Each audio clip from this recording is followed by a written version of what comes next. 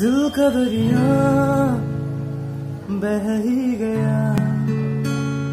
इश्क इबादत बन ही गया। खुद को मुझे तू सौंप दे। मेरी ज़रूरत तू बन गया। बात दिल की सच कह रहा, तेरी कसम तेरे बिन न लेंगे कभी दम। तुझे कितना चाहने लगे